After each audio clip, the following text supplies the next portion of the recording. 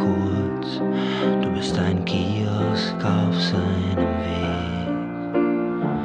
Er gibt dir Licht und Feuer, das nicht mal teuer. Du glaubst alles, was er dir erzählt.